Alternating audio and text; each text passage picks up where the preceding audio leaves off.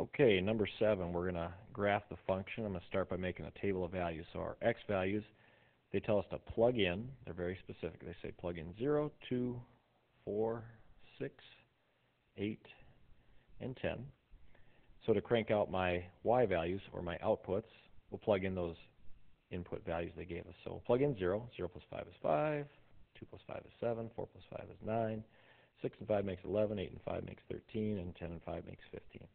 Now, one thing you'll notice that uh, my x values go from 0 to 10, and I've only got 1, 2, 3, 4, 5, 6, 7 boxes. So in order to fit my x values on here, maybe I'm going to change my x scale. Instead of going by 1s, I'm going to go by 2s.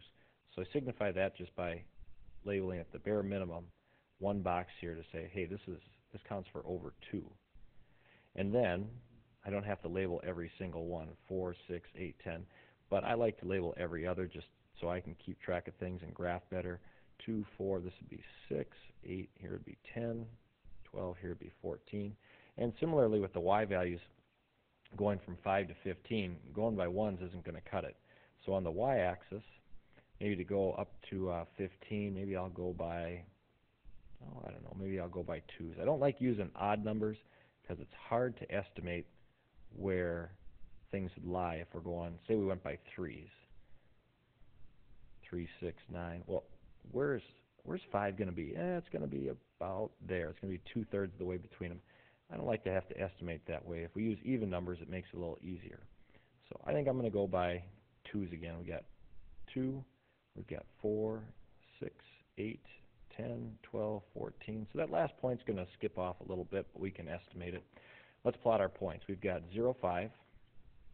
So we'll go over 0 and up 5 which would be halfway between 4 and 6.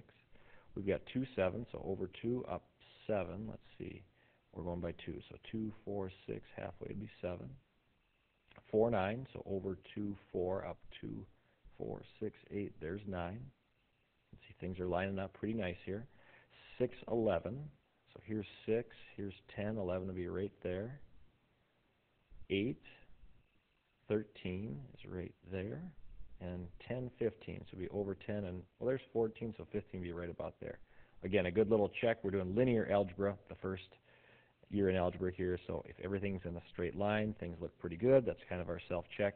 We do not connect the dots because we don't want to signify that we can use any values for x. They told us very specifically only use 0, 2, 4, 6, 8, and 10.